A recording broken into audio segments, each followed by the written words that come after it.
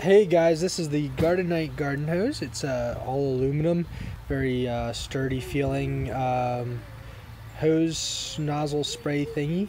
So we've got the center, we've got mist, we've got a vertical spray, got a that was a flat first and then vertical, and now this is a full, and we got a shower spray and this would be a scatter, a cone,